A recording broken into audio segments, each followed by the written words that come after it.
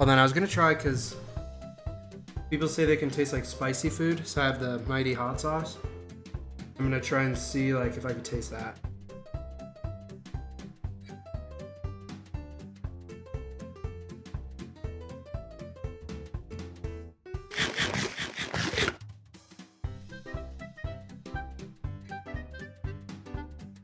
Nothing. I can like feel that it's hot, like it's making me sweat.